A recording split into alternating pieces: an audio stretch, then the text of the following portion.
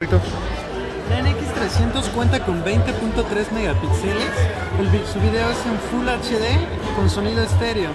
Además de esto cuenta con lo que es una pantalla táctil con la cual puedo manejar los enfoques directamente eh, tocando la pantalla. Cuenta con 109 áreas de enfoque, por tanto no va a haber punto el cual yo no pueda enfocar. Además de esto puedo hacer lo que es una estabilización eh, o disparar bien con un toque únicamente en la pantalla. Yo al tocar mi pantalla se toma la fotografía automáticamente.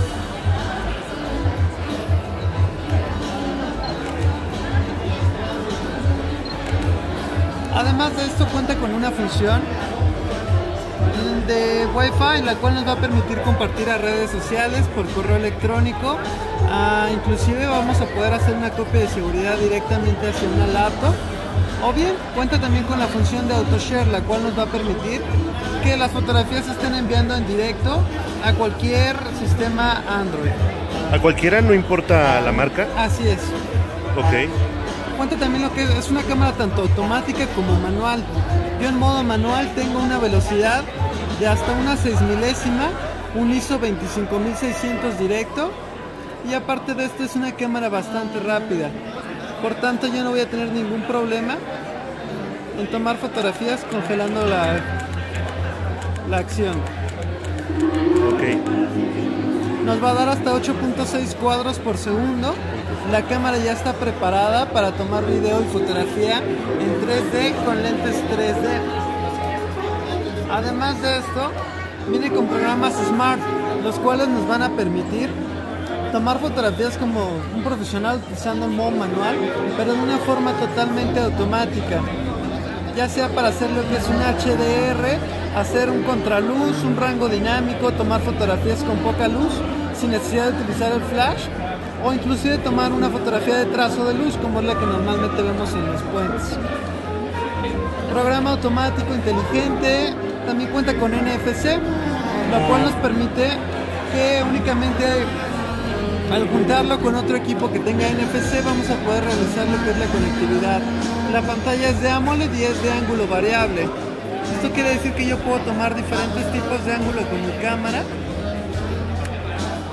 sin necesidad de estarme moviendo, lo cual hace mucho más cómoda. Ok, perfecto. Perdón, en cuanto a la conectividad por medio de, de las tabletas Samsung para poder, este, ¿cómo se llama? Reflejar, vaya, lo que se está viendo en la pantalla de la cámara hacia la tableta Samsung. Esta es una función la cual se llama Remote Viewfinder. Yo aquí la puedo utilizar de la siguiente forma. Yo activo la función de Remote Viewfinder en mi cámara.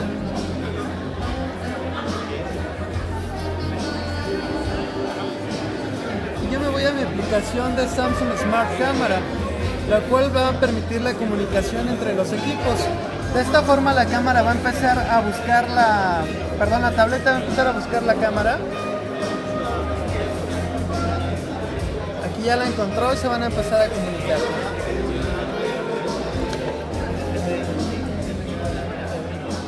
Al terminar esta acción, yo en la tablet tengo lo que la cámara está viendo.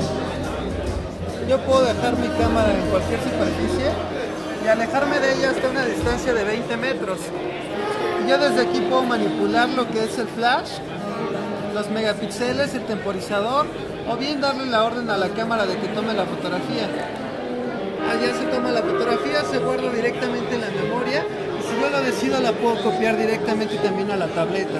Todo esto hasta una distancia de 20 metros sin necesidad de tener una red, únicamente por Wi-Fi. De 20 metros por Wi-Fi. Así ok, es. solamente se, se comunica por medio de Wi-Fi, ¿verdad? Así nada es. de Bluetooth, nada de No, NFC. Únicamente Wi-Fi.